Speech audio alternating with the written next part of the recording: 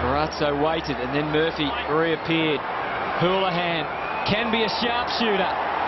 And that was a mighty good kick. Smiles all round for the Blues.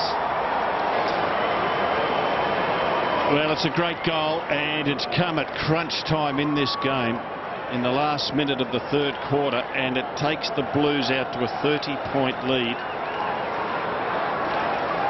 Beautiful finish from Ryan Houlihan, and this has really hurt the Brisbane Lions cause. 30